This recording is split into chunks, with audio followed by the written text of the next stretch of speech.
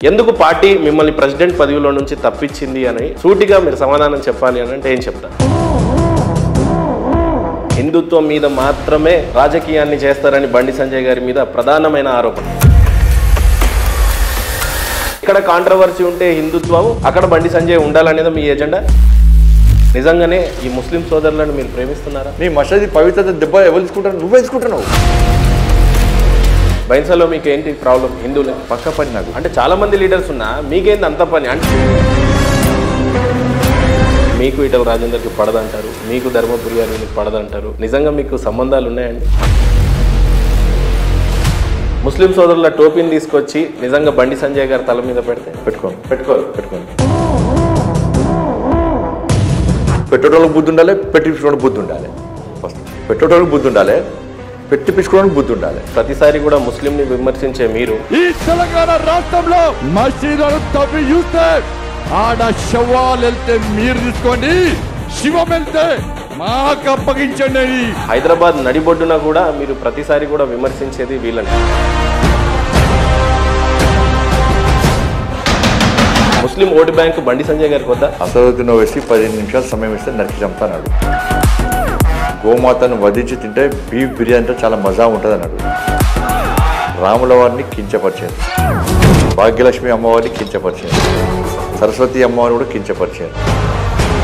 బండి సంజయ్ కానీ భారతీయ జనతా పార్టీ నాయకులను కానీ ఎప్పుడు కూడా అల్లాని కించపరచలేదు. ఏసు ప్రభుని కించపరచలేదు. మీ మసీదుకి వచ్చి నా రాముని మొక్కడం ద్వారా మీ అల్లాన్ని మీకు కించపరుచుకున్నట్టే. కేటీఆర్ కూడా బహిరంగంగానే చెప్తా ఉన్నాడు కరీంనగర్కి నేను చేసింది ఎంత నువ్వు చేసింది ఎంత రా బహిరంగ సమితి అని అంటున్నాడు కేసీఆర్ ముఖ్యమంత్రి అనే పదవిలో ఉంటే కుక్కలు దేకే నేను కుక్కలు దేకే నేను ఇప్పటికీ కన్న కవరం కళ్ళు గిరుంటాయి ఇప్పటికి కూడా. అధికారం పేరు కూడా వాళ్ళు అయ్యే ముఖ్యమంత్రి అనుకుంటున్నట్టు ఇక ఇక్కడ సిరిసిల్ల పోలీసులు నీ అమ్మ తిట్టి అంటున్నారు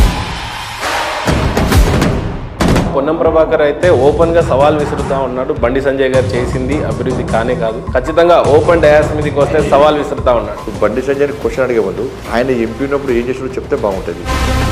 వినోద్ కుమార్ గారు నన్ను అడిగే ముందు ఆయన ఏం చేసినో చెప్తే బాగుంటుంది. ఛాలెంజెస్ రమ్మని చెప్పండి. మధ్య రమ్మని చెప్పండి. నేను ఓడిపోతే నేను రాజకీయ సన్యాసం తీసుకుంటాను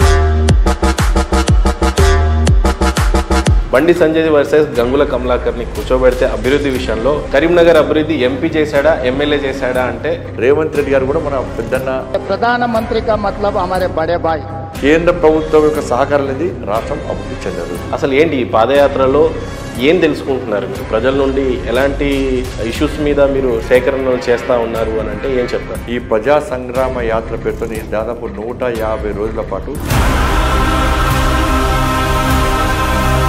పదహారు వందల కిలోమీటర్లు ఎండలో వర్షాకాలంలో చలికాలం కూడా యాత్ర చేసినాను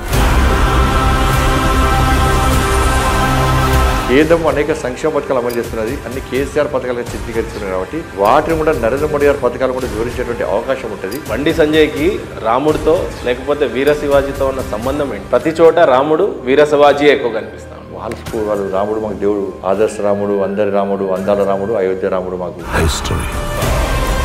ఛత్రపతి శివాజీ మహారాజ్ ఆయన లేకుంటే హిందూ సమాజం కదా పూర్తి మాకు దేవుడితో సమానం దేవుడు మాకు